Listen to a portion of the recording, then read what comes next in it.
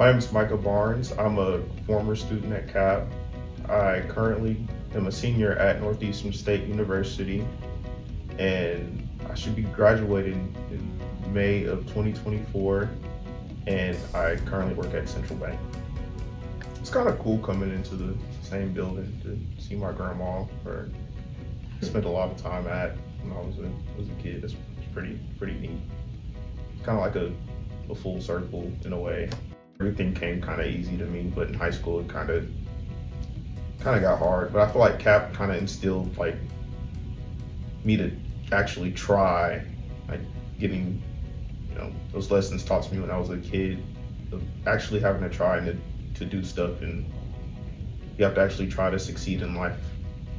So now he's a he's a great example for his brother and sister, the younger ones behind him.